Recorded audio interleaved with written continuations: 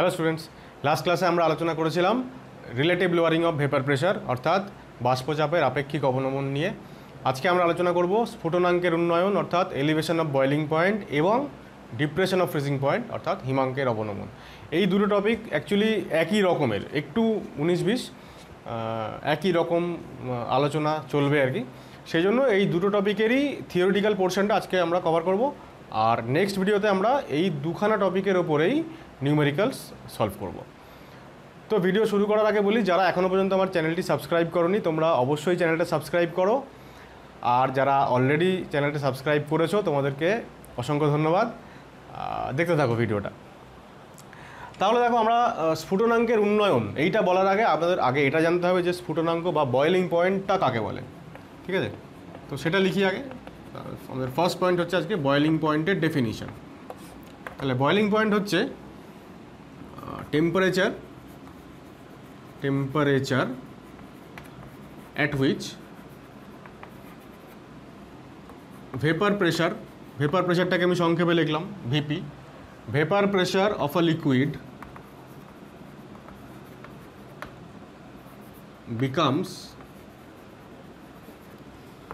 equal to the external pressure external pressure ঠিক আছে অর্থাৎ একটা লিকুইডের ভেপার প্রেশার বাইরের প্রেশারের সঙ্গে সমান হয়ে যাচ্ছে বাইরের প্রেশার বা এক্সটার্নাল প্রেশার মানে কি ধরা যাক আমি একটা বাটিতে জল নিয়েছি জল গরম করছি তাহলে জলটার রেসপেক্টে আশেপাশের যে বায়ুমণ্ডলটা সেটাই হচ্ছে এক্সটার্নাল এরিয়া বা এক্সটার্নাল কি বলবো অ্যাটমসফিয়ার সেই ক্ষেত্রে বায়ুমণ্ডলের চাপ যেটা নর্মালি আমাদের এখানে কত হয় ওয়ান এটিএম বা সেভেন সিক্সটি এমএমএইচজি সেটাই হচ্ছে এক্সটার্নাল প্রেশার এবার যদি আমি কোনো পাহাড়ি অঞ্চলে যাই অনেক অল্টিটিউড যেখানে অনেক বেশি সেখানে নিশ্চয়ই এক্সটার্নাল প্রেশারটা সাতশো ষাট এমএমএইচজি বা ওয়ান এটিএম হবে না তার থেকে কম হবে তো সেই জন্য আমরা এক্সটার্নাল প্রেশার বলে একটা জেনারেল টার্ম ডিফাইন করি আর কি হয় ধরা যাক তুমি একটা পাত্রের মধ্যে জল নিয়েছি জল আমাদের সবথেকে বেশি পরিচিত লিকুইড তাই জল দিয়ে এক্সপ্লেন করাটাই বেটার এবার জলের ওপরে কিছু ভেপার নিশ্চয়ই জমা হবে নর্মালি ইভ্যাপোরেশন হয় ভেপার জমা হবে তাহলে এই ভেপারের যে প্রেশারটা সেটাই ভেপার প্রেশার এইবার যদি আমি এখান থেকে হিট দিই তাহলে হিট দিলে কি হবে জলের মলিকিউলগুলোর কাইনেটিক এনার্জি আরও বাড়বে ফলে আরও বেশি বেশি করে এবার মানে জল থেকে বাষ্প তৈরি হতে থাকবে এবার যত বেশি বাষ্প তৈরি হবে তত বেশি প্রেশার তৈরি হবে তার মানে যত আমি টেম্পারেচার বাড়াচ্ছি তত ভেপার প্রেশার অফ ওয়াটার অর্থাৎ ভেপার প্রেশার অফ লিকুইড বাড়ছে এইভাবে ভেপার প্রেশারটা বাড়তে বাড়তে ঠিক যে মুহূর্তে এক্সটার্নাল প্রেশারের সঙ্গে সমান হয়ে গেল ভেপার প্রেশার বাড়তে বাড়তে যে মুহূর্তে বাইরের প্রেশারের সঙ্গে সলিউশনের ভেপার প্রেশারটা সেম হয়ে গেল সেই মুহূর্তে জলটা অর্থাৎ সলিউ অর্থাৎ লিকুইডটা সলিউশন বললাম আমি বোধহয় সলিউশন না অ্যাকচুয়ালি লিকুইড তো লিকুইডটা সেই মুহূর্তে ফুটতে শুরু করবে অর্থাৎ বয়েল করতে শুরু করবে এবং সেই পার্টিকুলার টেম্পারেচারটাই হচ্ছে তার বয়েলিং পয়েন্ট ঠিক আছে সুতরাং যে পার্টিকুলার টেম্পারেচারে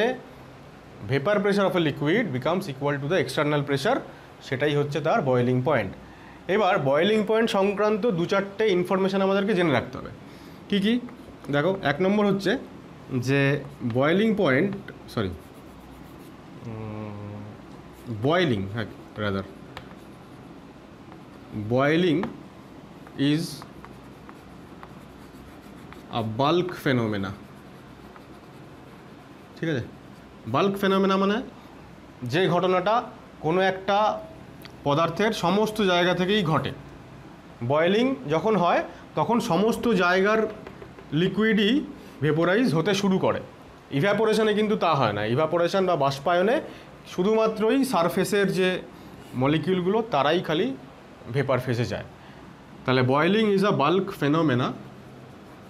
unlike unlike evaporation which is a surface phenomena ঠিক আছে সারফেস ফেনোমেনা কেন বলছি কারণ বাষ্পায়ন বা ইভ্যাপোরেশনের সময় শুধুমাত্র সারফেস থেকেই ভেপার তৈরি হয় এটা হচ্ছে একটা পয়েন্ট সেকেন্ড পয়েন্ট হচ্ছে সেকেন্ড পয়েন্ট হচ্ছে if external pressure if external pressure is 1 atm or 760 mmHg then boiling point is called boiling point is called normal boiling point normal boiling point অর্থাৎ যদি বাইরের প্রেশার এক্সটার্নাল প্রেশার যদি one ATM হয় তখন আমরা যে কোনো লিকুইডের বয়েলিং পয়েন্টকে তখন আমরা বলবো যে ওই পার্টিকুলার ভ্যালুটা হচ্ছে সেই লিকুইডের নর্মাল বয়েলিং পয়েন্ট যেমন যেমন normal boiling point of water কত একশো ডিগ্রি সেলসিয়াস আর three seventy three kelvin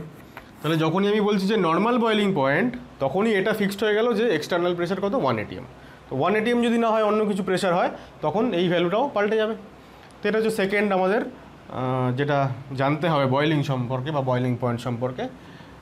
second point third point হচ্ছে থার্ড পয়েন্ট হচ্ছে boiling point varies with one by vapour pressure vapour প্রেশারের সঙ্গে বয়েলিং পয়েন্ট ইনভার্সলি প্রপোর্শনাল এটা কীরকম সম্ভবত আমি এর আগে অ্যাজিওট্রপিক মিক্সচার বলার সময় আমি একবার এটা উল্লেখ করেছিলাম ব্যাপারটা এরকম নয় যে কোনো একটা পার্টিকুলার লিকুইড ধরো জলের কথা আমি ভাবছি তো জলের আমি যত ভেপার প্রেশার কমাবো তত জলের বয়েলিং পয়েন্ট বেড়ে যাবে ব্যাপারটা ওরকম না এটা হচ্ছে দুটো আলাদা লিকুইডের মধ্যে যখন আমি কম্পেয়ার করছি ঠিক আছে কীরকম suppose suppose liquid A and liquid B are kept at a same temperature ঠিক আছে ধরো যাক টি কেলভিন টেম্পারেচারে দুটো লিকুইডকেই রাখা আছে এইবার যে লিকুইডটার ভেপার প্রেশার কম তার বয়েলিং পয়েন্ট বেশি আর যার ভেপার প্রেশার বেশি তার বয়েলিং পয়েন্ট কম তাহলে if A is more volatile then B A যদি বেশি ভোলাটাইল হয় ভোলাটাইল মানে উদ্বায়ী এ যদি বেশি উদ্বায়ী হয় তাহলে এ থেকে বেশি পরিমাণ ভেপার তৈরি হবে একটা কনস্ট্যান্ট টেম্পারেচার মানে ইভ্যাপোরেশনের রেটটা বাড়বে আর কি তাহলে যে বেশি ভোলাটাইল তার ভেপার প্রেশার কী হবে বেশি হবে তাহলে if A is more volatile then B then vapour pressure vapour প্রেশারটা কী হবে এ গ্রেটার দেন বি হবে ঠিক আছে খুব ভালো করে লক্ষ্য করো আমি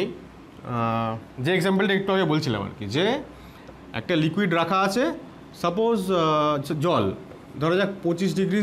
সেলসিয়াস টেম্পারেচারে জলটাকে রাখা আছে এবার এই অবস্থায় সাপোজ জলের ভেপার প্রেশার কি হবে এনিথিং বিলো সেভেন সিক্সটি হবে আমরা ধরে নিচ্ছি যে পাঁচশো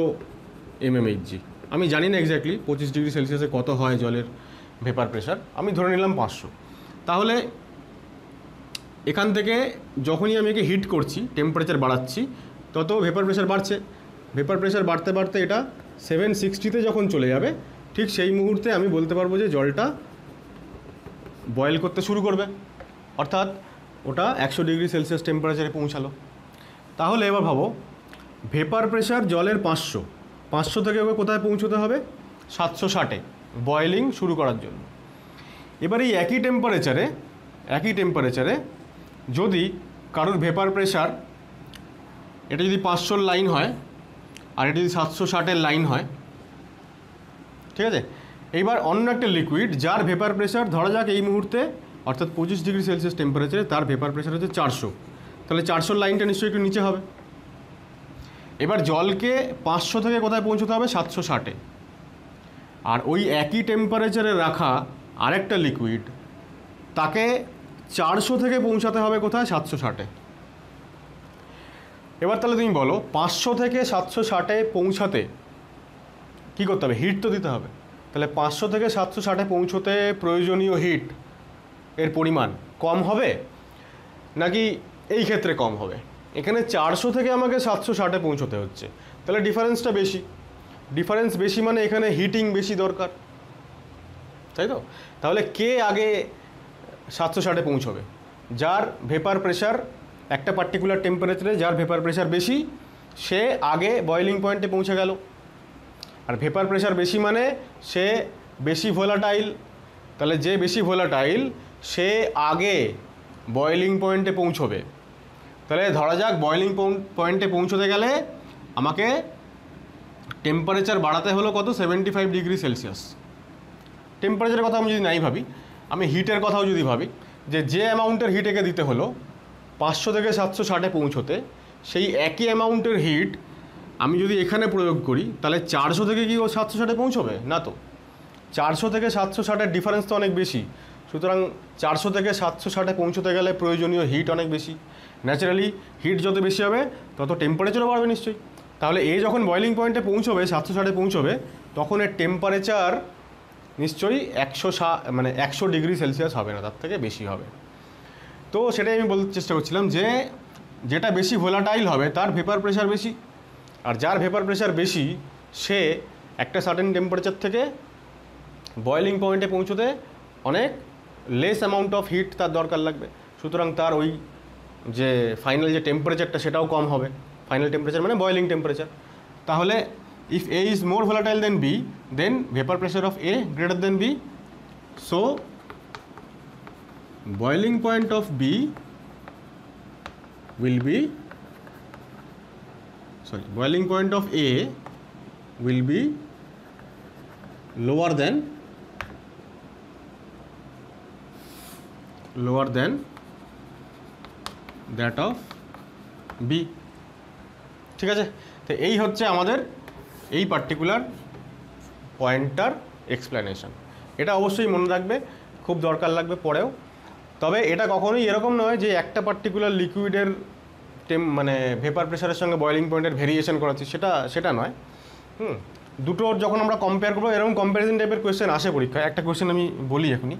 তাহলে এই ব্যাপারটা আরেকটু ক্লিয়ার হবে বুঝতে একটা কোয়েশ্চেন লিখি দেখো কোয়েশ্চেনটা হচ্ছে এরকম যে liquid A and B are kept at eighty degree Celsius আশি ডিগ্রি সেলসিয়াস টেম্পারেচারে দুজনকে রাখা আছে এবার ভেপার প্রেশার অফ এ হচ্ছে দেড়শো এম জি আর বিয়ের হচ্ছে দুশো এম ঠিক আছে এটা উল্টো করে দিই ব্যাপারটা তাহলে সুবিধা হবে ভেপার প্রেশারটাই भेपर प्रेसार ना दिए बयलिंग पॉइंट दिए the boiling point of A हे तीन सौ डिग्री सेलसिय और बर हे दूस degree Celsius which one have higher value of higher value of vapour pressure eight eighty degree C দুটো লিকুইড এবি তাদেরকে আশি ডিগ্রিতে রাখা আছে একজনের বয়লিং পয়েন্ট তিনশো একজনের বয়লিং পয়েন্ট দুশো এবার বলছে কার ভেপার প্রেশার আশি ডিগ্রি সেলসিয়াস টেম্পারেচারে বেশি হবে আমরা কি করব এই ফর্মুলা অ্যাপ্লাই করব যার ভেপার প্রেশার বেশি এখানে বলছে কার ভেপার প্রেশার বেশি তাহলে যার ভেপার প্রেশার বেশি তার বয়লিং পয়েন্ট কম দুজনের মধ্যে কার বয়লিং পয়েন্ট কম বি ঠিক আছে বিয়ের যদি বয়লিং পয়েন্ট কম হয় তাহলে বিয়ের ভেপার প্রেশার কি হবে বেশি হবে কেন কারণ আবারও এক্সপ্লেনেশনটা দিচ্ছি যার ভেপার প্রেশার বেশি হবে একটা সার্টেন টেম্পারেচারে সে অনেক বেশি ভোলাটাইল হবে ভেপার প্রেশার বেশি মানে বেশি ভোলাটাইল তাহলে বেশি ভোলাটাইল লিকুইড তো আগে আগে ভেপোরাইজ হবে সুতরাং সে তার ভেপার প্রেশার যদি বেশি হয়ে যায় তাহলে এইবার তো তার ভেপার প্রেশার মানে সাতশো ষাটে পৌঁছানোটা ইজিয়ার হবে তাই না যেটা আমরা এখানে গ্রাফ থেকে মানে এই কম্প্যারিজনটা থেকে বলছিলাম আমি যদি এই দুটোর ক্ষেত্রেও আমরা যদি আনসারটা একটু লেখার চেষ্টা করি তাহলে আমরা লিখবো যে দেখো বিয়ের হচ্ছে তোমার টেম্পারে বয়লিং পয়েন্ট কম তাহলে যার বয়লিং পয়েন্ট কম সেটা বেশি ভোলাটাইল বা উল্টোটা যদি যেটা বললাম আমি যে যার ভেপার প্রেশার বেশি সেটা বেশি ভোলাটাইল তাহলে তাহলে আমরা লিখবো যে at at a fixed temperature substance with higher higher value of BP এটাই লিখি আর কি যেটা দিয়ে আনসারটা চেয়েছে ওরা higher value of vapour pressure is more volatile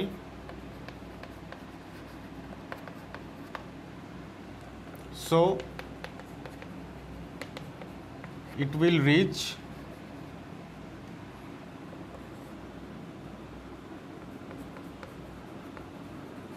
external pressure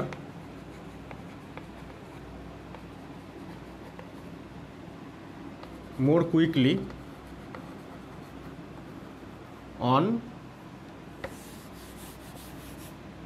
on heating so its boiling point will be less ঠিক আছে যদি আমি এটাকে উল্টো করে বলি মানে ভেপার প্রেশার দিয়ে আমি যদি কনক্লুশনে না আসি আমি যদি বয়লিং পয়েন্ট দিয়ে কনক্লুশনে আসতে চাই তাহলে যার বয়েলিং পয়েন্ট কম সে বেশি ভোলাটাইল ঠিক আছে আর বেশি ভোলাটাইল মানে তার ভেপার প্রেশার বেশি তাহলে যার বয়েলিং পয়েন্ট কম মানে দুশো সে বেশি ভোলাটাইল সুতরাং তার ভেপার প্রেশার বেশি এভাবে ওয়ান আনসারটা বলতে পারতাম তাহলে সেটাই সেটাও লিখে দিই একটুখানি এখানে যে the substance with lower value of boiling point boiling point the boiling point is more volatile so it will have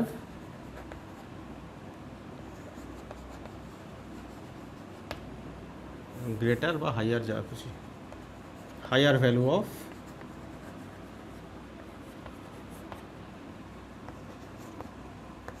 vapor pressure at a fixed temperature ठीक है हमें এখানে फिक्स টেম্পারেচার যে আশি তাহলে আশি ডিগ্রি সেলসিয়াস টেম্পারেচারে যার বয়েলিং পয়েন্ট হচ্ছে কম অর্থাৎ বি এখানে দুশো আর এর তো তিনশো ছিল তাহলে বি হচ্ছে এখানে মোর ভোলাটাইল তাই বি এর বেশি হবে since BP of boiling point of B less than A so B E B is more volatile and will have higher value of vapour pressure ঠিক আছে আশা করা যায় ভেপার প্রেশার বয়লিং পয়েন্ট এই পুরো ব্যাপারটা গল্পটা বোঝানো গেল আচ্ছা এটা আমি এটা উইথ হবে আমি উইল লিখে দিয়েছি substance with lower value of BP okay আচ্ছা এবার হচ্ছে এলিভেশন অফ বয়লিং পয়েন্ট আমরা শুরু করছি এলিভেশন অফ বয়লিং পয়েন্টের মোস্ট ইম্পর্টেন্ট কোয়েশ্চেন যেটা থিওরিটিক্যাল পার্টে যেরকম আমরা একটা কোয়েশ্চেন বলেছিলাম আগের দিন যে কোনো পিওর লিকুইডের মধ্যে পিওর সলভেন্টের মধ্যে যদি কোনো সলিউড যদি অ্যাড করা হয় নন ভোলাটাইল তাহলে ভেপার প্রেশার কমে যায় কেন সেটা যতটা ইম্পর্টেন্ট ইকুয়ালি ইম্পর্টেন্ট হচ্ছে এটাও যে একটা পিওর সলভেন্টে যদি আমি কোনো নন ভোলাটাইল সলিউড মেশাই তাহলে যে সলিউশনটা তৈরি হলো তার বয়লিং পয়েন্ট ওই পিওর সলভেন্টের থেকে বেশি হয় কেন ঠিক আছে খুব ইম্পর্টেন্ট কোয়েশ্চেন বোর্ডের পরীক্ষার রেসপেক্টে কোয়েশ্চেনটা হচ্ছে আমি নর্মালি এরকমও লিখতে পারি যে boiling point increases upon addition of sugar বা সল্ট এরকমও থাকে ইন ওয়াটার মানে জলের মধ্যে চিনি বা নুন মেশালাম তাহলে বয়লিং পয়েন্ট বেড়ে যায় অল্টারনেট কোয়েশ্চেন এরকম হয় যে ওয়েন নন ভোলাটাইল সলিউড একটা কথা আগের দিন বলেছিলাম যখনই আমরা সলিউড লিখবো তখনই নন ভোলাটাইল তো লিখতেই হবে ব্র্যাকেটে আরও কী কী লিখতে হবে solid non volatile non electrolyte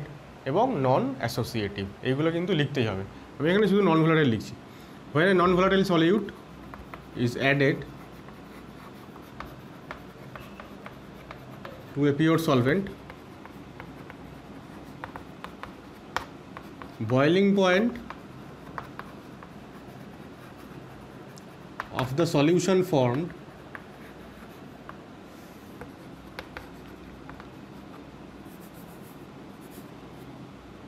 becomes higher than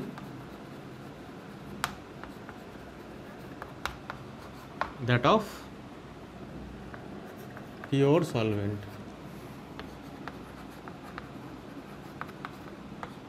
ঠিক আছে এক্সপ্লেন এরকম কোয়েশ্চেনটা হয় বোঝা গেল কোয়েশ্চেনটা এবার কি হয় অ্যাকচুয়ালি দেখো দেখো এর এক্সপ্লেনেশনটা আমরা দুরকমভাবে করবো একটা গ্রাফিক্যালি আর একটা থিওরিটিক্যালি গ্রাফিক্যাল এক্সপ্লেনেশনটা যদি আমি আগে করি তাহলে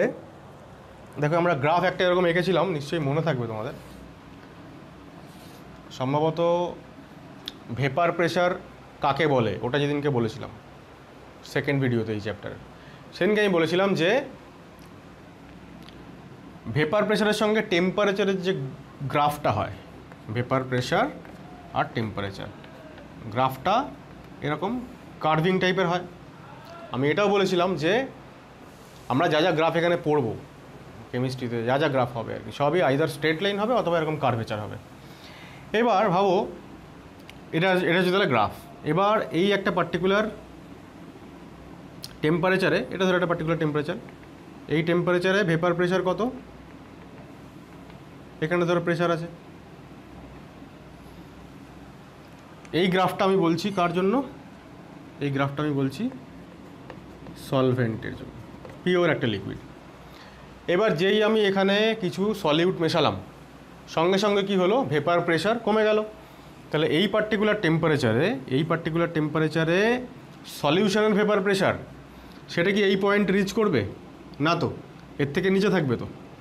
তাই না ভেপার প্রেশার তো নিশ্চয়ই এটা হবে না সলিউশনের তার থেকে কম হবে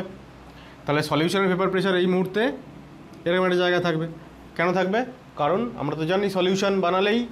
নন ভোলাটাইল সলিউট মেশালেই ভেপার প্রেশার কমে যায় তাহলে সেটা যে কোনো টেম্পারেচারেই সত্যি অর্থাৎ যে কোনো টেম্পারেচারেই সলিউশনের ভেপার প্রেশার সলভেন্টের থেকে কম থাকবে সুতরাং যে কোনো যে কোনো টেম্পারেচারেই কী হবে সলভেন্টের যে গ্রাফটা তার থেকে সলিউশনের গ্রাফ নিচে থাকবে গ্রাফের নেচার একই রকম হবে কিন্তু গ্রাফটা নিচে থাকবে তাহলে সলিউশনের গ্রাফ ধরা যাক এই রকম একই রকম তাহলে এই যে পয়েন্টটা এইটা হচ্ছে এই একই টেম্পারেচারে একই টেম্পারেচারে এইটা হচ্ছে সলিউশনের ভেপার প্রেশার সলভেন্টের ভেপার প্রেশার বেশি ন্যাচারালি এইবার এইটা ধরা যাক ভেপার প্রেশার হচ্ছে এইখানটা হচ্ছে সেভেন সিক্সটি সাতশো ষাট তাহলে দেখো আমাকে গ্রাফটা আর একটু বাড়াতে হবে মনে হচ্ছে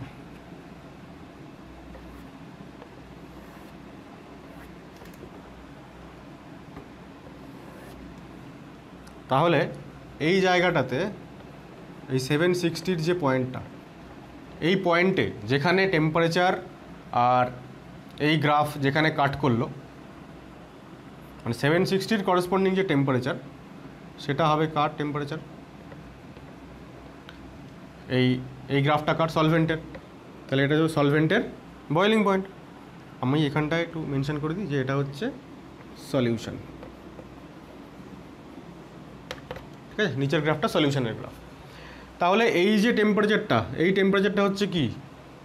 কার বয়লিং পয়েন্ট সাতশো ষাট মানে তার করেসপন্ডিং টেম্পারেচার হচ্ছে বয়লিং পয়েন্ট কার বয়লিং পয়েন্ট সলভেন্টের সলভেন্টের বয়লিং পয়েন্টকে আমরা টি আর টি এর সাফিক্সে আমরা বি লিখি ছোটো হাতের বয়লিং টেম্পারেচার আর এই যে টেম্পারেচারটা অর্থাৎ সল সলিউশনের যে গ্রাফ সেই গ্রাফটা যেখানে সাতশো ষাটকে মিট করেছে তার করেসপন্ডিং যে টেম্পারেচার এটা হচ্ছে সলিউশনের বয়লিং পয়েন্ট এটাকে আমরা বলি টিবি ড্যাশ ঠিক আছে কোনো কোনো বইতে কি থাকে আমরা এখানে কি লিখলাম মেনশন করে দিই একটু টিবি হচ্ছে বয়লিং পয়েন্ট অফ সলভেন্ট আর টিবি ড্যাশ হচ্ছে বয়লিং পয়েন্ট অফ সলিউশন দেখো ন্যাচারালি টিভির থেকে টিভি ড্যাশটা বেশি না সুতরাং যখনই আমি সলিউশন তৈরি করেছি অর্থাৎ কোনো নন ভোলাটাইল সলিউট মিশিয়েছি সঙ্গে সঙ্গে কি হয়েছে বেড়ে গেছে টেম্পারেচার বয়লিং টেম্পারেচার বেড়ে গেছে এবার এই যে ডিস্টেন্সটা মানে যতটা বাড়লো এই যে গ্যাপটা এই এই যে গ্যাপটা এটাই হচ্ছে কি ডেল্টা টিভি অর্থাৎ এলিভেশন ইন বয়লিং পয়েন্ট ঠিক আছে তাহলে tb dash minus tb this equal to elevation in boiling point এখন এইটাকে এই এই ডিফারেন্সটাকে আমরা অনেক সময় কি বলি ডেল্টা টিবি ডেল্টা টিবি মানে হচ্ছে ডিফারেন্সটা যেটা বলছিলাম যে অনেক বইতে কি থাকে এই টিবিটা টিবির জায়গায় লেখা থাকে টি নট বি আর যেখানে আমি ড্যাশ দিয়েছি ওই জায়গাটায় লেখা থাকে টিবি আর ওরা বলে যে TB minus T naught B হচ্ছে আমাদের এলিভেশন অফ বয়েলিং পয়েন্ট কিন্তু আমাদের যে প্রচলিত বইগুলো সেই জায়গাতে সব জায়গাতেই এখানে সলভেন্টটাকে টিবি বলা হয় আর সলিউশনটার বয়লিং পয়েন্টটাকে টিবি ড্যাশ বলা হয় তাই এই এই সিম্বলগুলো আমরা এইখানে ব্যবহার করব না এই যে পার্টিকুলার কোয়েশ্চেনটা আমি লিখেছি বা যে কোয়েশ্চেনটা লিখেছি এই কোয়েশ্চেনটার থিওরিটিক্যাল যে ব্যাখ্যাটা সেইটা পরীক্ষাতে লিখতে হয় দু নম্বর থাকে যদি বোর্ডের পরীক্ষাতে আসে কোয়েশ্চেনটা তো দেখো যেটা আমরা বলছিলাম যেটা অলরেডি আমরা আলোচনা করছি যে যদি আমি কোনো নন ভোলাটাইল সলিউড মেশাই তাহলে ভেপার প্রেশার কমে যাবে তাহলে পিওর ওয়াটার ঠিক আছে পিওর ওয়াটার ধরো বয়েল করছে কত টেম্পারেচার থাকবে একশো degree Celsius temperature pure water যখন বয়েল করছে টেম্পারেচার কত একশো ডিগ্রি সেলসিয়াস সেই টেম্পারেচারে জলের বয়লিং সরি জলের ভেপার প্রেশার কত সাতশো ষাট এখন যেই আমি সলিউড মিশিয়েছি চিনি মিশিয়ে দিয়েছি নুন মিশিয়ে দিয়েছি তখন ভেপার প্রেশার কী হয়ে যাবে কমে যাবে তাহলে যে একশো ডিগ্রি সেলসিয়াসে জল বয়লিং পয়েন্টে পৌঁছে গেছে ফুটতে শুরু করে দিয়েছে কারণ এক্সটার্নাল প্রেশারের সঙ্গে সমান হয়ে গেছে সেই একই টেম্পারেচারে সেই একই টেম্পারেচারে সলিউশনের বয়লিং পয়েন্ট কত হবে কিছুটা কমে যাবে ধরা যাক সাতশো পঞ্চাশ হয়ে গেছে ভেপার প্রেশার তো কমবেই তাহলে এই সলিউশনটা এবার কি একশো ডিগ্রি সেলসিয়াস টেম্পারেচারের সলিউশনটা কি ফুটতে শুরু করবে না তো কারণ ও তো অ্যাটমসফেরিক প্রেশারের সঙ্গে সমান হয়নি তাহলে আবার যদি একে ফুটতে হয় তাহলে এর ভেপার প্রেশার আবার ইনক্রিজ করতে হবে করে সাতশো ষাটে যেতে হবে তাই তো তাহলে ভেপার প্রেশার ইনক্রিজ করার অপশান কি টেম্পারেচার ইনক্রিজ করা কারণ একটু আগে আমরা ভেপার প্রেশার টেম্পারেচার গ্রাফ দেখলাম টেম্পারেচার বাড়ালেই ভেপার প্রেশার বাড়বে তাহলে এর ভেপার প্রেশার যদি আমাকে সাতশো ষাট করতে হয় তাহলে টেম্পারেচার বাড়াতে হবে তাহলে যে মুহূর্তে এটা সাতশো ষাটে পৌঁছবে তখন টেম্পারেচারও খানিকটা বেড়ে গেছে ন্যাচারালি বয়েলিং টেম্পারেচার বেড়ে গেল তো এইটা হচ্ছে থিওরিটিক্যাল এক্সপ্লেনেশান তো এটা এটার জন্য আমাদের যেটা লিখতে আমি লিখিয়ে দিই আনসারটা দেখো লেখো তোমরা যে আহ, হ্যাঁ যে vapour pressure of a solution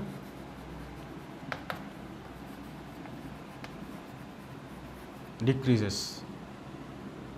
um, না decreases লিখবো না is less than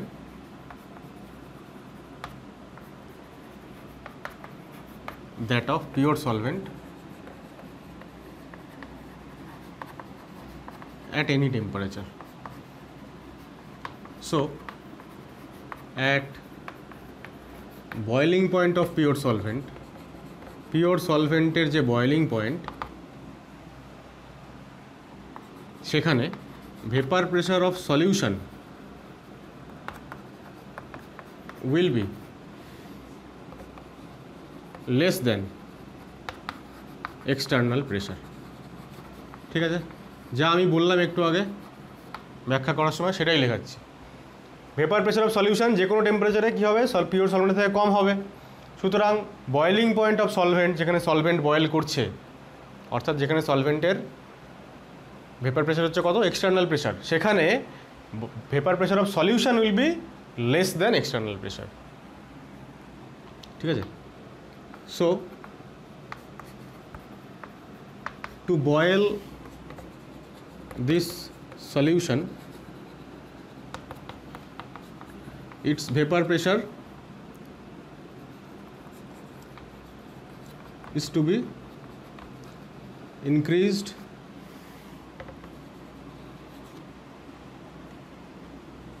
increased up to external pressure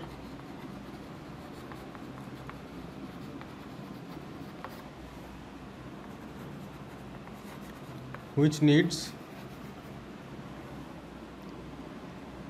heating ঠিক আছে eventually temperature of the solution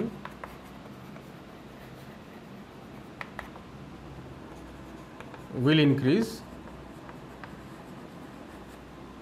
on this heating ঠিক আছে temperature of the solution will increase সুতরাং আমরা লিখতে পারি যে so boiling point of solution solution will be greater than that of solvent ঠিক আছে তোমরা এই আনসারটা লিখতে পারো বা যদি এর থেকে কিছু বেটার ল্যাঙ্গুয়েজ পাও বইতে তাহলে সেই সেই আনসারটাও লিখতে পারো মোদ্দা কথা হচ্ছে ব্যাপারটা এটাই যে যেহেতু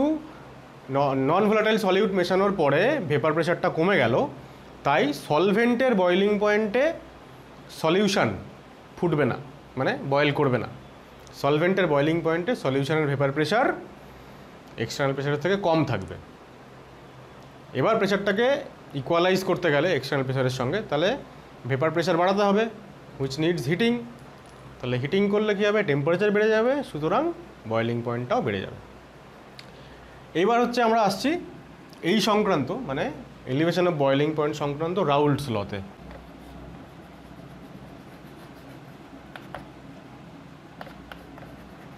তাহলে রাউলস ল হচ্ছে যে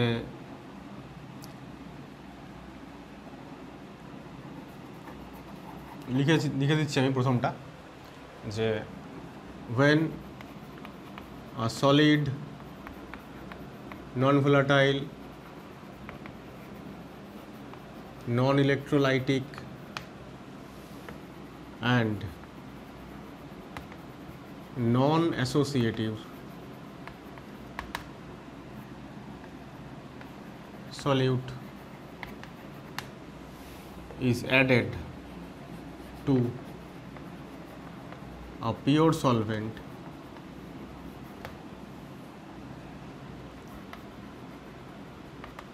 forming a dilute solution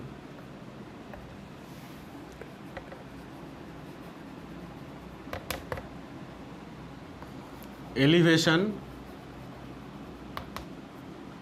elevation in boiling point of the solution is proportional to the molality molality of the solution ঠিক আছে অর্থাৎ কোনো একটা solid non volatile non electrolyte এবং নন অ্যাসোসিয়েটিভ সলিউট মিশিয়েছি পিওর সলভেন্টে এবং ডাইলুট সলিউশন তৈরি করেছি তাহলে এই সলিউশনের এলিভেশন ইন বয়লিং পয়েন্ট মানে বয়লিং পয়েন্ট কতটা বাড়বে সেটা ডিপেন্ড করবে কার উপরে সলিউশনের মোলালিটির উপরে মোলাল গাঢ়ত্বের উপরে সুতরাং আমি যত বেশি সলিউট মেশাবো টেম্পারেচারের বয়লিং টেম্পারেচারের ইন ইনক্রিমেন্টটা তত বেশি বেশি করে হবে বা এলিভেশনটা তত বেশি বেশি করে হবে তোমরা একটা ঘটনা লক্ষ্য করেছো নিশ্চয়ই ধরা যাক চা বানানোর সময় কি হয় ধরো জল জল ধরো একটা বাটিতে তুমি বসিয়েছো গ্যাসের উপরে এবার তুমি যদি অবজার্ভ করো ঠিক যে মুহূর্তে জলটা ফুটতে শুরু করছে জলটা ফুটতে শুরু করেছে এইবার তুমি একটা বড় চামচে করে এক চামচ চিনি বা নুন তুমি জলটার মধ্যে ঢেলে দাও দেখবে জলটা যে ফুটতে শুরু করেছিল মানে যে রেটে জলের মানে বাষ্পটা তৈরি হচ্ছিল এবং যে রেটে আমরা টকবক করে জলটা ফুটে মানে সেখান থেকে বাষ্পগুলো নির্গত হচ্ছিল যে মুহূর্তে তুমি এক চামচ চিনি বা নুন ফেলে দিলে জলের মধ্যে সেই মুহূর্তে ওই রেটটা খানিকটা স্তিমিত হয়ে গেল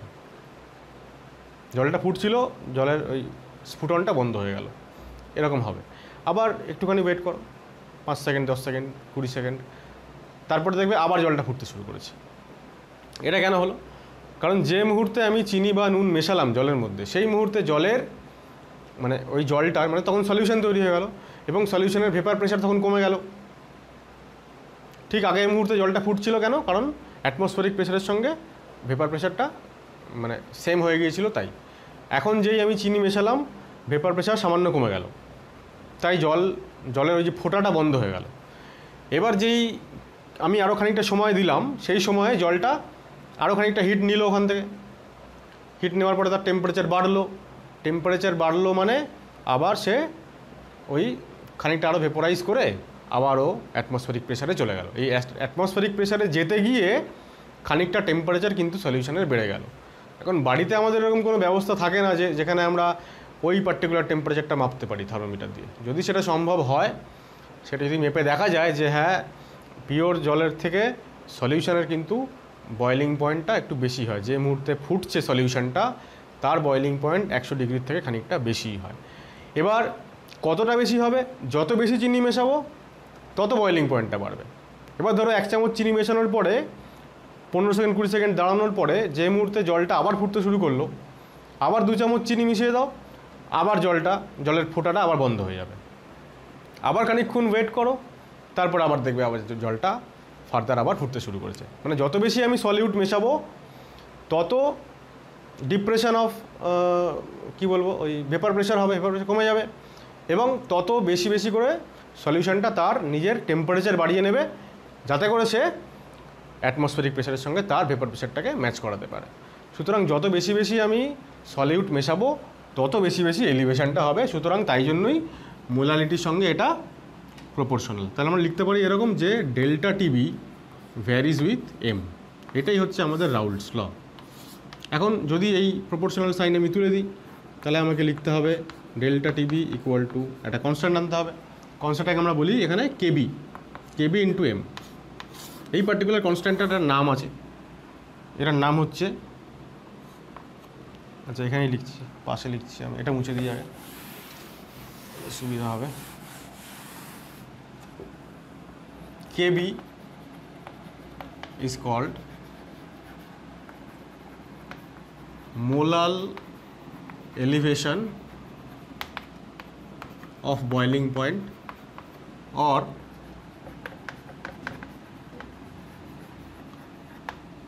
ebullioscopic constant এই পার্টিকুলার কেবিটা এটা সলভেন্টের একটা প্রপার্টি প্রত্যেক সলভেন্টের একটা নির্দিষ্ট কেবির ভ্যালু থাকে এখন এই এই যে ইকুয়েশনটা এই ইকুয়েশন থেকে আমাদের কেবিকে ডিফাইন করতে হয় কেবির ডেফিনিশান দিতে হয় তাহলে আমরা এরকমভাবে বলি যে when M equal to one M যদি এক হয় তাহলে আমরা বলতে পারি যে delta TP equal to KB যেটার মানে এটাই দাঁড়ায় যে যদি সলিউশানটা আমি এক মোলাল নিই এক মোলাল সলিউশানের যতটা এলিভেশন ইন বয়েলিং পয়েন্ট হবে সেটাই হচ্ছে ওই পার্টিকুলার সলভেন্টটার কেবি ধরা যাক আমি জল নিলাম জলের মধ্যে আমি এক মোলাল এক মোলাল মানে কি এক কেজি জলের মধ্যে আমি এক মোল কোনো সলিউট মেশালাম চিনি গ্লুকোজ বা urea non volatile non electrolyte non associative electrolyte আর অ্যাসোসিয়েটিভদের কথা আমরা এখন আলোচনা করছি না তা সেটা যদি মেশাই এক মো এক মোল এক কেজি জলের মধ্যে তাহলে যতটা এলিভেশন হবে বয়েলিং পয়েন্টের মানে একশো ডিগ্রি সেলসিয়াস থেকে বেড়ে সলিউশনের টেম্পারেচার যা হবে আমি আগের দিন বলেছিলাম ভ্যালুটা zero point five two degree Celsius বেড়ে যায় তো সেইটুকু হচ্ছে তাহলে ডেল্টা টিভি সুতরাং ওটাই হচ্ছে জলের কেবি ঠিক আছে তাহলে আমরা কী লিখবো যে তাহলে আমরা দুরকমভাবে লিখব KB is elevation in boiling point for 1 molal solution এটা একটা আরেকটা আরেকটু প্রিসাইজ সেটা হচ্ছে if one mole of a solute solute মানেই ব্র্যাকেটে ওই চারটে প্রপার্টি মেনশন করতে হবে এটা আমি আর করছি না এখানে if one mole of a solute is dissolved in 1 kg of a pure solvent ঠিক আছে এটা অন্যরকম হয়ে গেল ব্যাপারটা কেবি is elevation in boiling point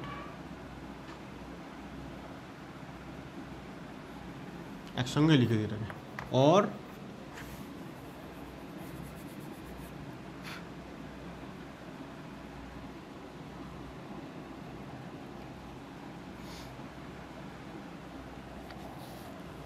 or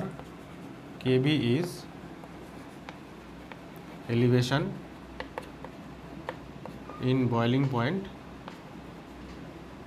when 1 mole of a solute is dissolved in one KG of pure solvent অর্থাৎ এক KG যে কোনো পিওর সলভেন্টে এক মোল যে কোনো সলিউট মেশালে যতটা এলিভেশন হয় এক্সাম্পল দিই for example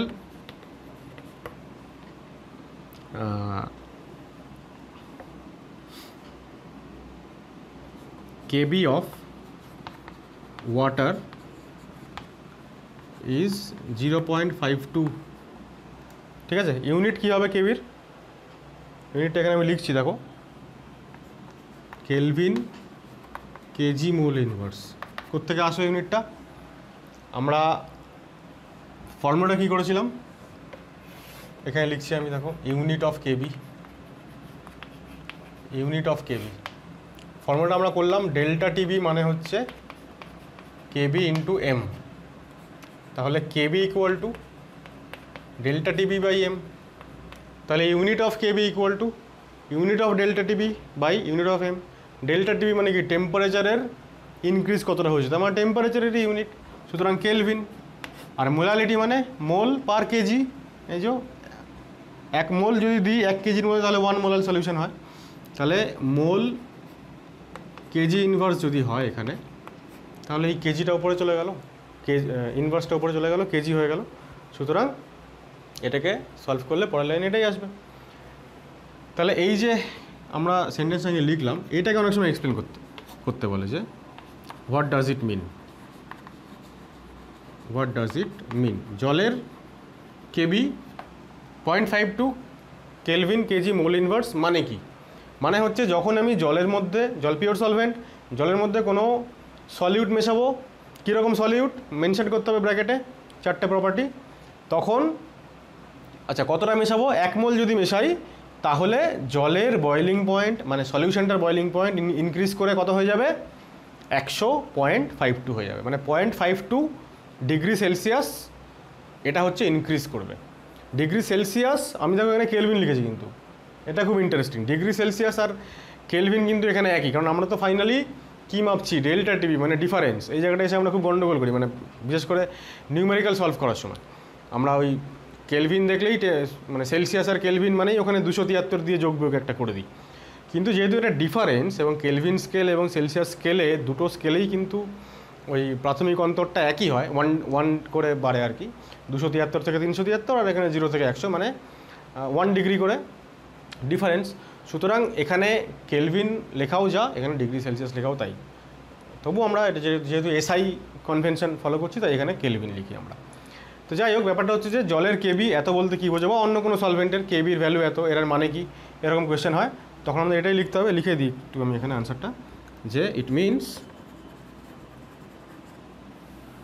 temperature of the solution formed upon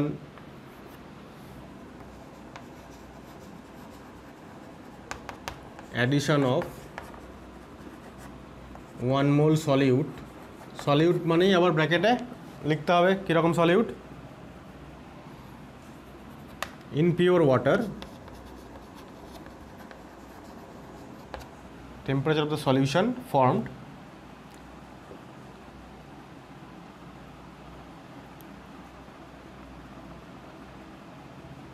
temperature কেমন লিখলাম boiling point of the solution formed will be 0.52 Kelvin বা degree Celsius greater than that of water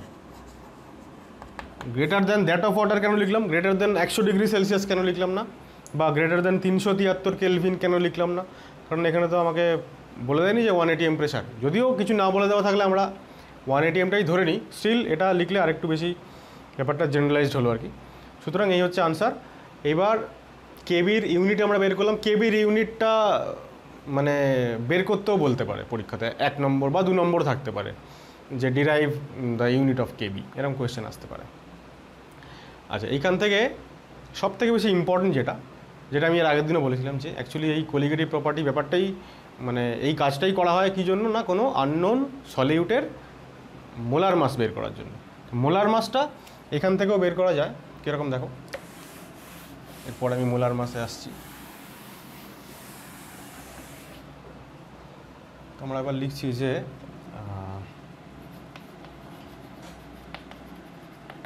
determination of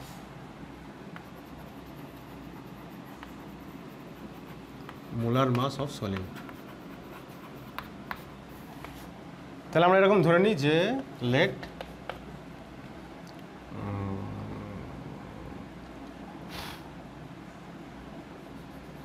W two gram of a solute molecular weight হচ্ছে M বা molar mass হচ্ছে M is dissolved in W1 gram of solvent যার molar mass হচ্ছে M one ঠিক আছে একটা particular টেম্পারেচারে সেটা আর লিখছি না তাই যদি হয় তাহলে আমরা কি লিখতে পারি যে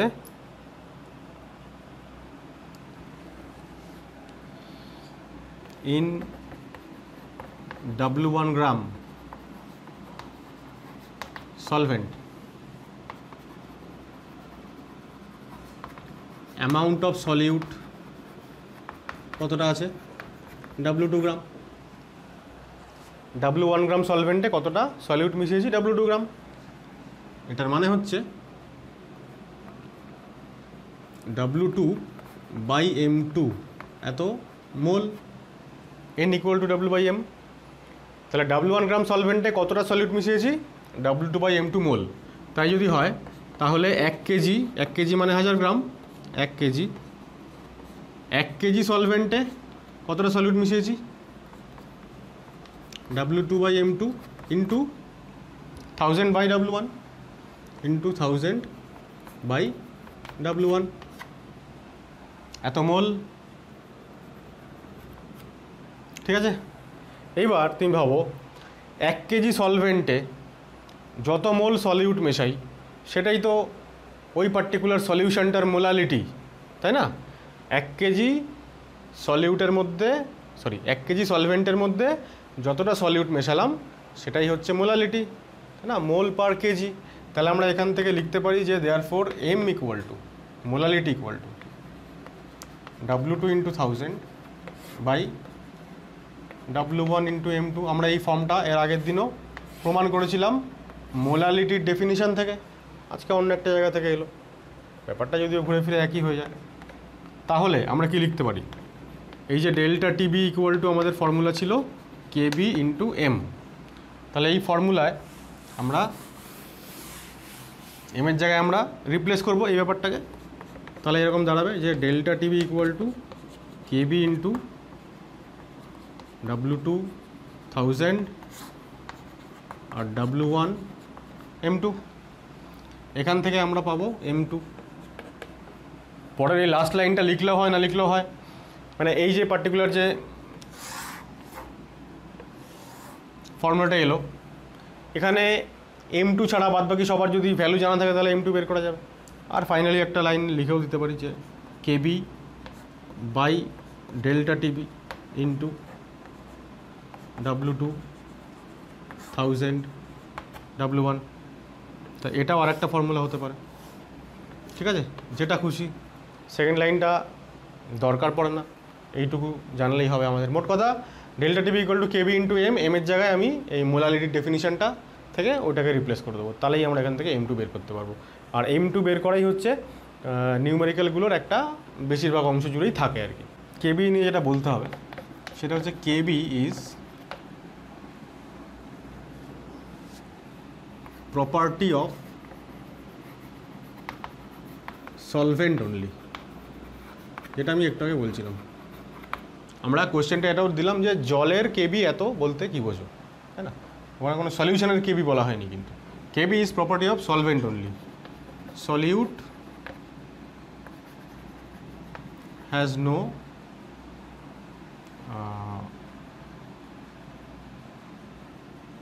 না সেন্টেন্সটা ঠিক হচ্ছে না KB is independent of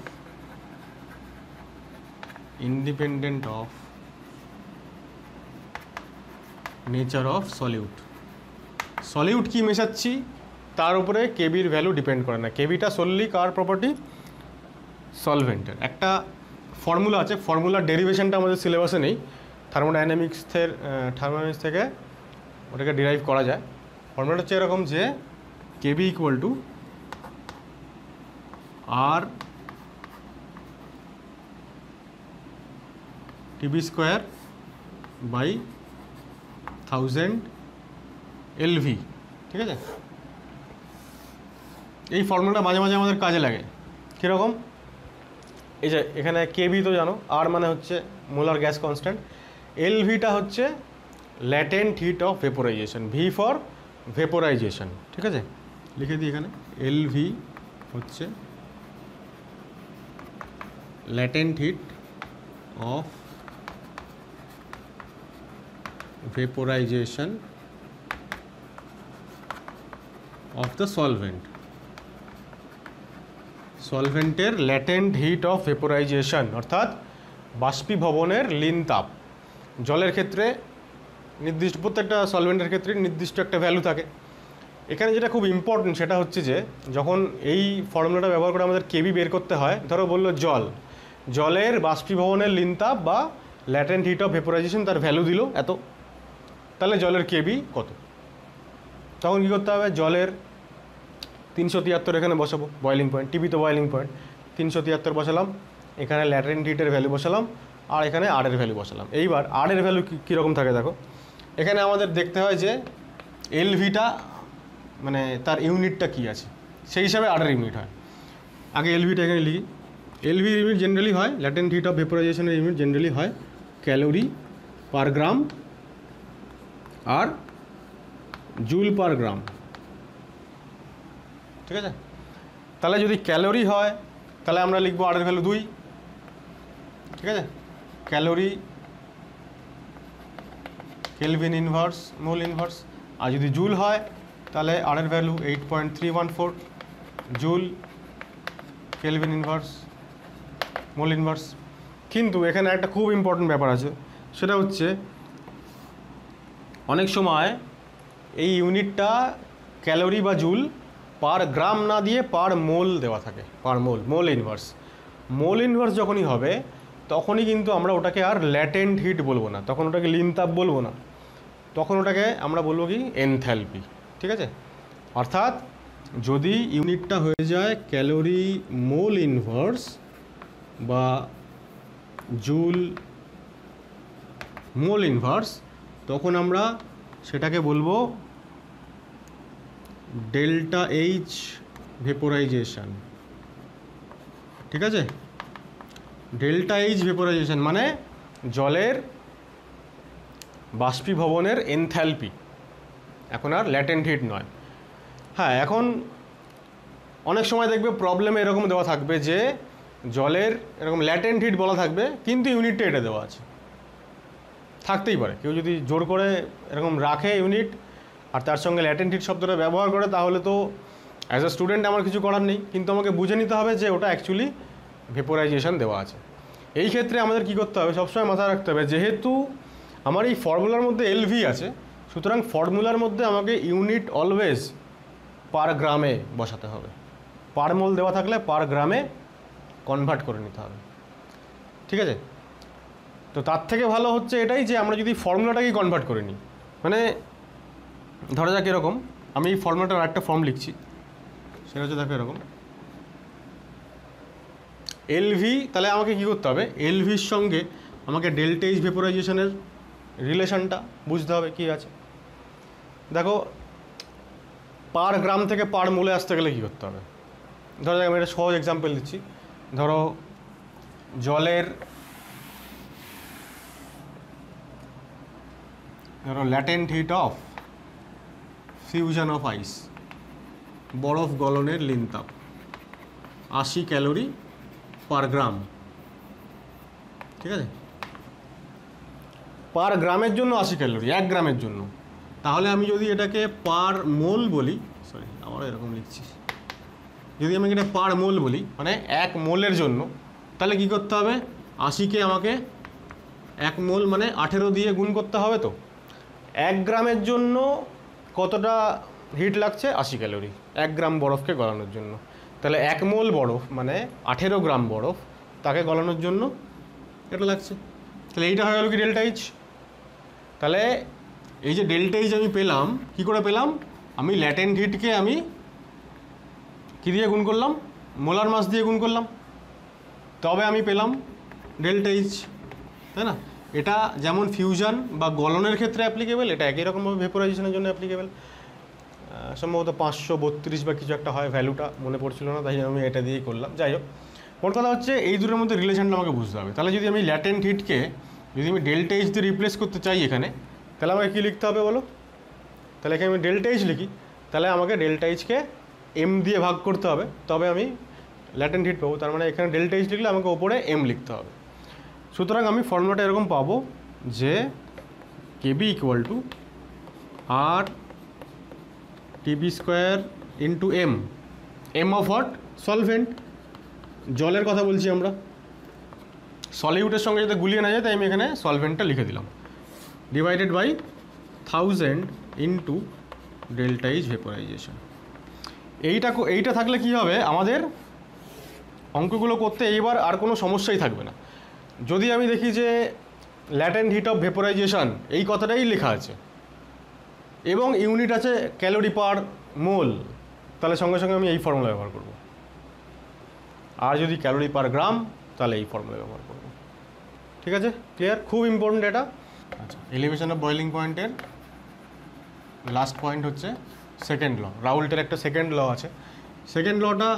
S size নতুন কিছু নয় মানে আমরা এতক্ষণ যা পড়লাম তার ভেতরকারই একটু এদিক ওদিক করে বলা আর কি দেখো কেবির যে আমরা ডেফিনিশনটা দিলাম তারপর আমরা বললাম যে কেবি অফ ওয়াটার হচ্ছে কত zero point five two kelvin KG mole inverse মানে হচ্ছে আমি যদি এক কেজি জল নিই এক কেজি জল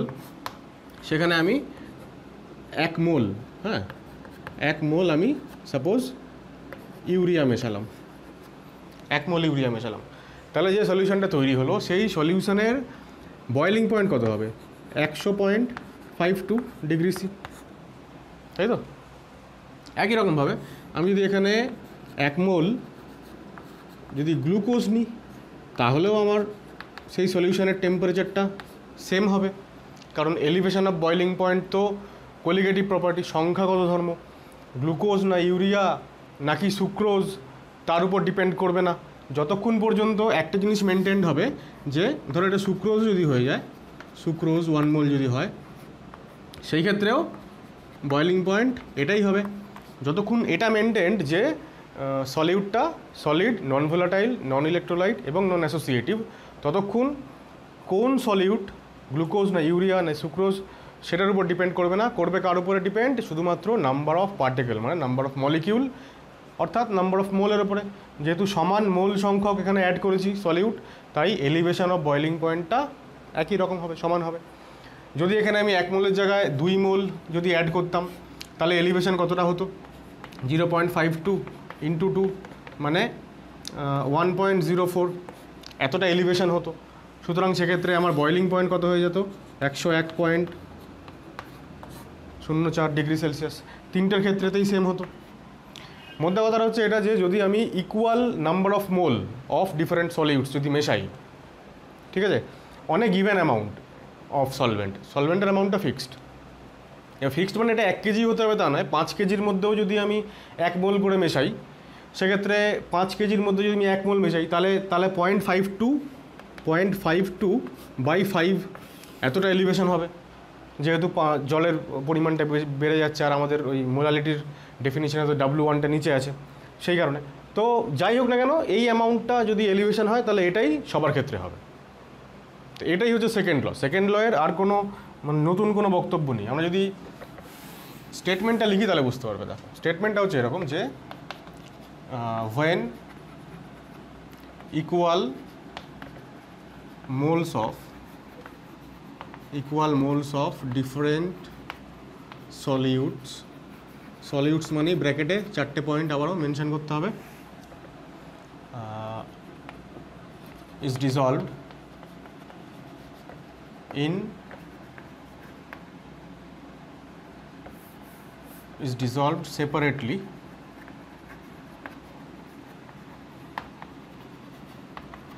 in a given amount of a pure solvent in a given amount of a pure solvent তখন কি হবে elevation elevation in boiling point will be same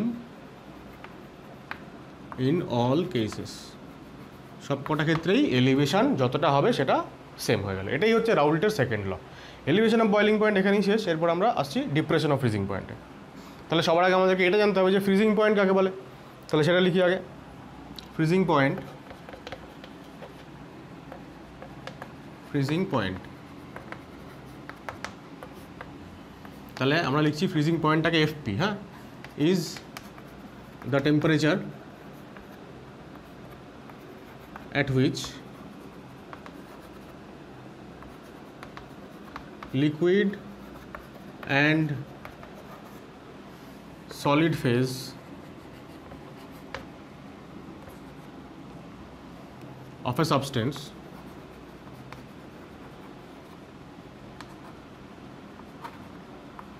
remains at equilibrium ঠিক আছে এটা একটা ডেফিনিশন আর একটা ডেফিনিশন এটা হয় যে temperature at which vapor pressure of solid and liquid phase is becomes same তো এটা হচ্ছে আরেকটা ডেফিনিশন অ্যাকচুয়ালি সলিড আর লিকুইড কোনো একটা পার্টিকুলার সলভেন্টের আমরা খুব সোজা উদাহরণ জল নিয়ে ভাবছি ধরো বরফ এবং জল তরল এই দুটো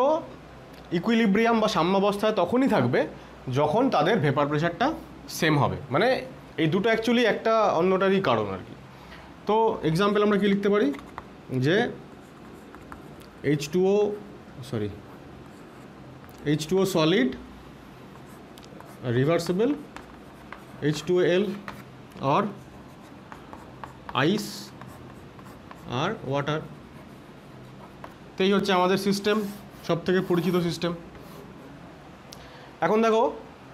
এরপর আমরা যেটা জানবো সেটা হচ্ছে যে ফ্রিজিং পয়েন্টের ডিপ্রেশন ডিপ্রেশন মানে কমে যাওয়া হিমাঙ্কের অবনমন অর্থাৎ যখন আমি কোনো একটা নন ভোলাটাইল সলিউড মেশাচ্ছি জলের মধ্যে বা অন্য যে কোনো সলভেন্টের মধ্যে ফ্রিজিং পয়েন্টটা কমে যায় জলের যদি freezing point normal freezing point যদি জিরো ডিগ্রি সেলসিয়াস বা টু সেভেন্টি থ্রি কেলভিন হয় তাহলে তার থেকে কম হবে এবার কেন কম হবে দেখো আবারও আমরা দু রকম এক্সপ্লেনেশান দেব একটা হচ্ছে গ্রাফিক্যাল আর একটা হচ্ছে থিওরিটিক্যাল গ্রাফিক্যাল এক্সপ্লেনেশানে দেখো কী হচ্ছে আমরা আবারও আগের মতন একটা টেম্পারেচার আর ভেপার প্রেশার গ্রাফ আঁকবো এবার গ্রাফটা এখানে দু রকম হয় একটা হচ্ছে এটা হচ্ছে সলিড ফেজের গ্রাফ আর এইটা হচ্ছে লিকুইড ফেসের গ্রাফ ঠিক আছে আমি এখানে লিখছি সলিড সলভেন্ট মানে আমরা যে সিস্টেমটা নিয়ে আলোচনা করছিলাম আইস আর ওয়াটার আমি এখানে লিখে রাখি আইস ওয়াটার আইস ওয়াটার লিখে রাখছি কেন কারণ এই সিস্টেমটা থেকে আমাদেরকে ব্যাখ্যা করতে সুবিধা হবে আর আর এটা হচ্ছে সলিড সলভেন্ট এটা হচ্ছে লিকুইড সলভেন্ট লিকুইড সলভেন্ট মানে এটা হচ্ছে ওয়াটার ঠিক আছে ফর এক্সাম্পল এটা আইস লিখে দিই এখানে আর এখানে ওয়াটার লিখে দিই এবার এই যে পার্টিকুলার পয়েন্টটা এই যে টেম্প এই যে প্রেশারটা দেখো ভেপার প্রেশার এই পার্টিকুলার প্রেশারে এসে কি হয়েছে আইস এবং ওয়াটার অর্থাৎ লিকুইড এবং সলিড ফেজের ভেপার প্রেশারটা সেম হয়ে গেছে তাহলে এই যে ভেপার প্রেশার সেম হয়ে সেম হয়ে গেল মানে কি মানে এই পয়েন্টটাতে এখন আইস এবং ওয়াটার এরা ইকুইলিব্রিয়ামে থাকবে সুতরাং এর করেসপন্ডিং যে টেম্পারেচারটা আমি পাবো এটাই হচ্ছে এটাই হচ্ছে টি এফ অর্থাৎ ফ্রিজিং পয়েন্ট অফ সলভেন্ট তো সেটা লিখি এখানে টি এফ হচ্ছে freezing point of pure solvent এবারে আবারও আগের মতন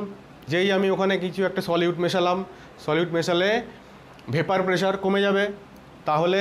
এই যে লিকুইডটা এই লিকুইডের যে গ্রাফটা আসবে সেটা এই গ্রাফের থেকে নিচের দিকে আসবে সলিউশনের জন্য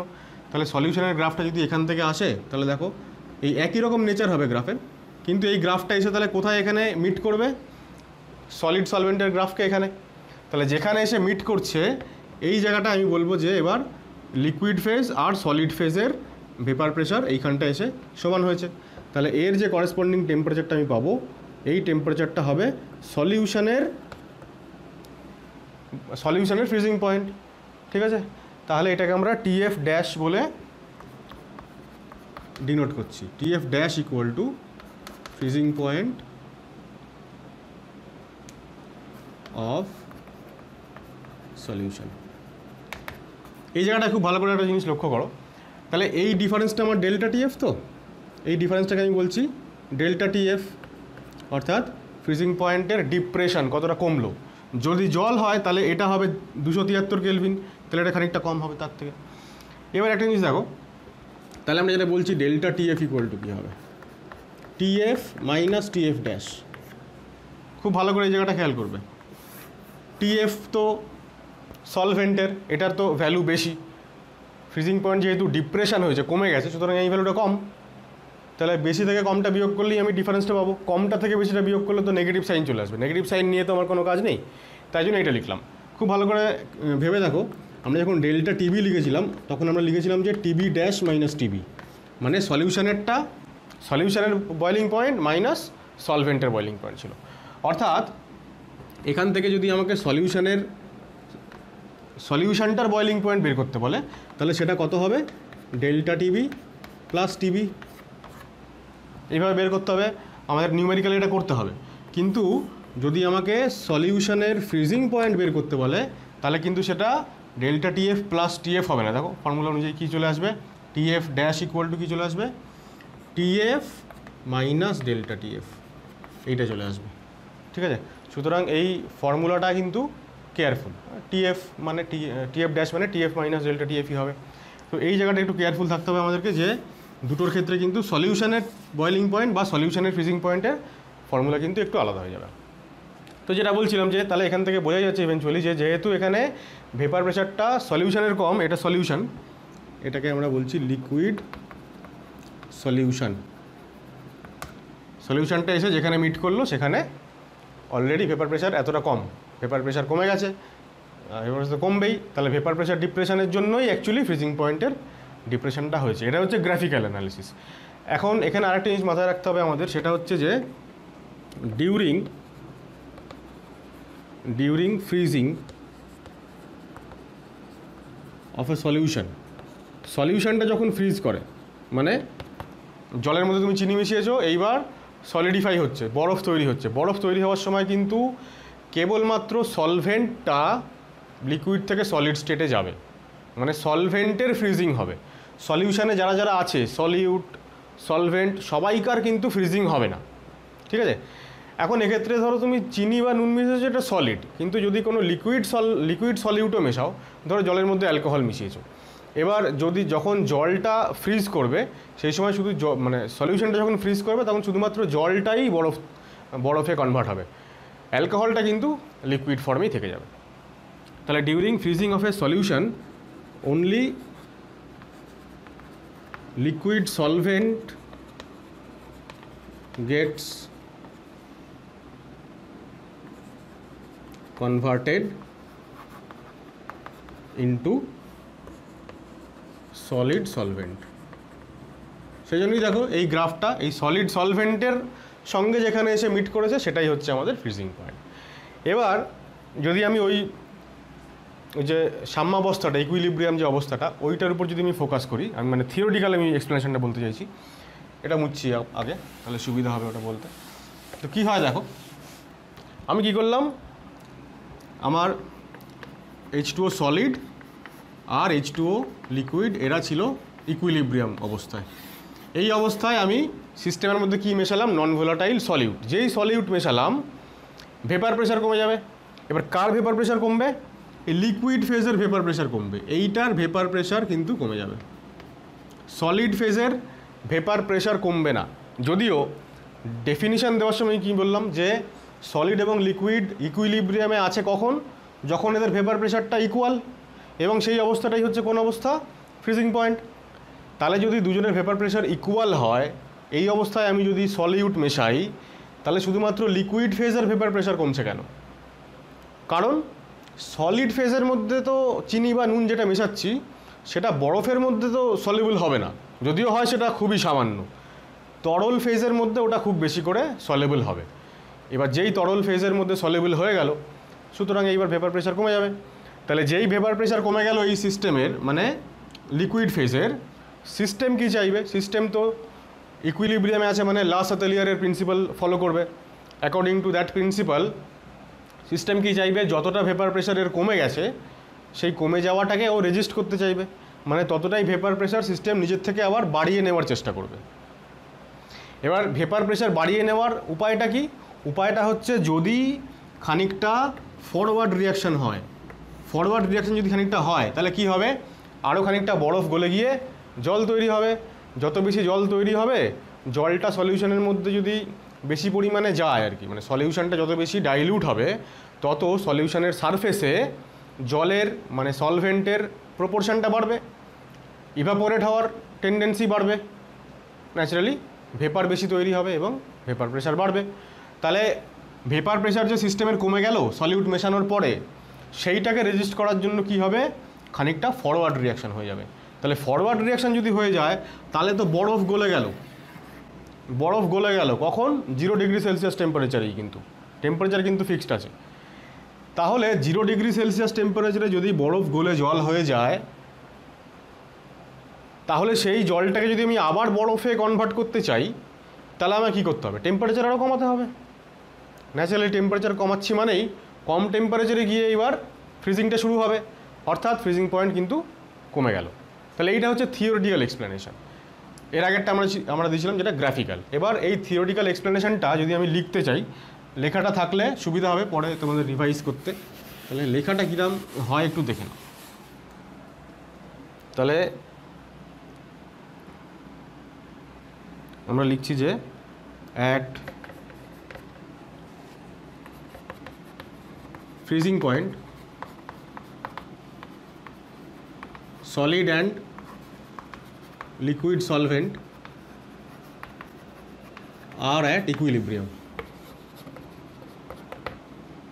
If a non-volatile solute is added, যখন অ্যাড করা হচ্ছে লিকুইড সলভেন্ট আমি এখানে লিখছি vapour pressure of vapour pressure of liquid solvent decreases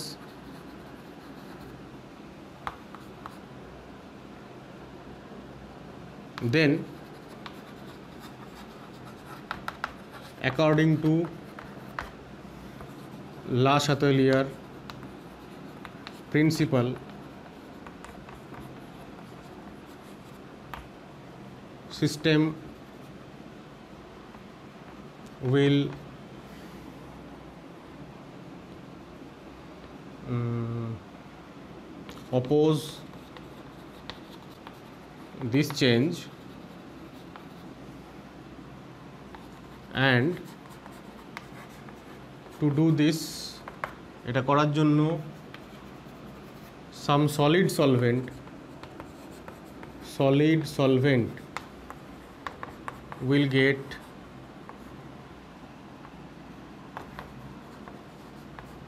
melt melt হয়ে যাবে to form liquid solvent and thereby and thereby increasing or adjusting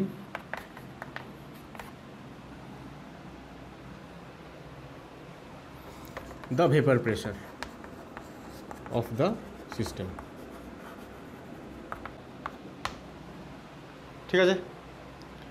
এবার কি হচ্ছে এটা মুছছি তাহলে temperature temperature of the system must be lower in order to get back get back that solid solvent solid সলভেন্টটাকে ফিরে পেতে গেলে কোন সলিড সলভেন্টটাকে এই যে যেটা মেল্ট করে গেল ইকুইলিব্রিয়ামকে অ্যাডজাস্ট করতে গিয়ে যে মেল্ট করে গেল সেই সলিডটাকে যদি আমি এবার ফিরে পেতে চাই তাহলে temperature must be lowered